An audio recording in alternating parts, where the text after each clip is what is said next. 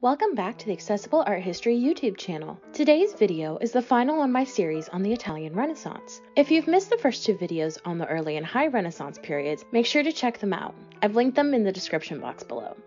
The late Renaissance is more commonly known as Mannerism, and it's a fascinating time period for art. It represents an exaggeration of ideals from the high Renaissance, forming a unique style. So, to learn more, then keep on watching. The beginning of Mannerism traditionally dates to about 1520, the same year as Raphael's death. The term Mannerism comes from the word maniera, which means style or manner in Italian.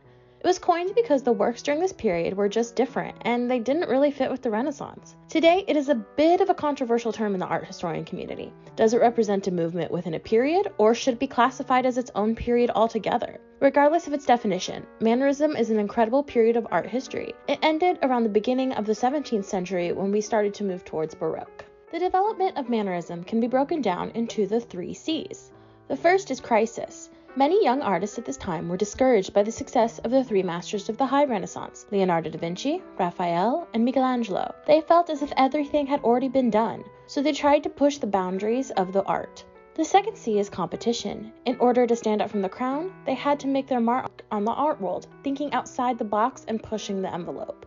Finally, the third C is color. Mannerist artists weren't afraid to expand their palettes. The most significant expansion was in the use of more vibrant, less naturalistic colors. Outside of the art world, Europe was also in a state of transition. As I discussed in the last video, the Reformation continued to sweep across the continent. Martin Luther inspired others to question their faith, King Henry VIII broke with the Catholic Church and founded the Church of England, and the Spanish Inquisition was founded. In addition, the Counter Reformation started to try and bring people back to the Catholic faith. The Western world was also expanding during this period. Explorers from Spain, France, England, and the Netherlands traveled across the ocean to try and find new territories to claim for their homelands. Of course, these areas were already occupied by indigenous peoples, but that didn't matter to them. Through these, quote, discoveries, vast amounts of wealth were taken back to the continent and new trade routes were opened. The first Mannerist work I'm going to cover is one of the most recognizable paintings from that period. It is called Madonna with the Long Neck and was painted by Parmigianino between 1535 and 40. In this work, the Virgin Mary half sits, half stands on a pedestal. She holds onto an infant Jesus and is surrounded by angels. Behind Mary are some classical columns and St. Jerome. This inclusion was a specific request of the patron.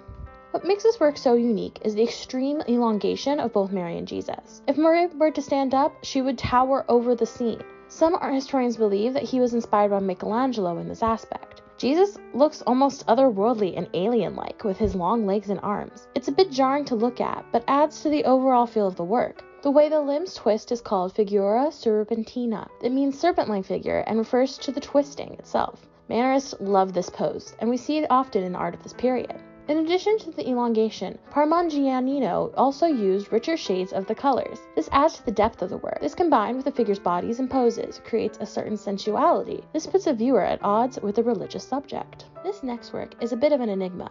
It's called The Deposition from the Cross and was painted by Jacopo Pontormo in 1528.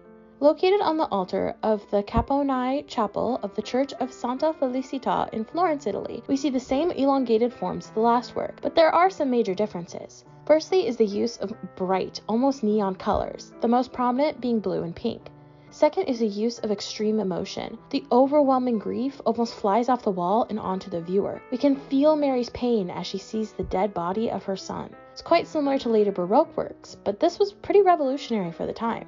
The next major element is a lack of setting and perspective. There is a single cloud in the background, but other than that, it's pure black. Without props, such as a cross, viewers can't be sure which event of the Passion this is. The name, The Deposition, was chosen because of the location of the work in a family burial chapel.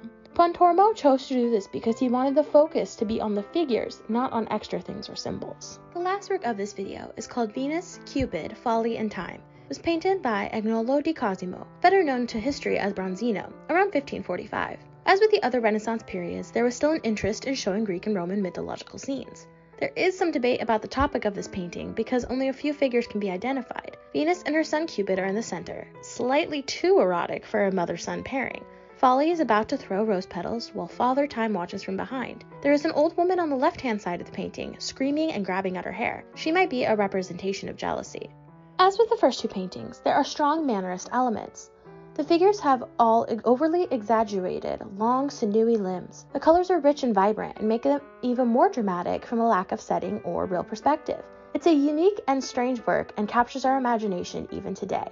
In fact, it even earned a passage in Giorgio Vasari's Lives of the Most Eminent Painters, Sculptors, and Architects. He wrote, quote, and he painted a picture of singular beauty that was sent to King Francis in France, wherein was a nude Venus with a Cupid who was kissing her, and pleasure on one side with play and other loves, and on the other side fraud and jealousy and other passions of love.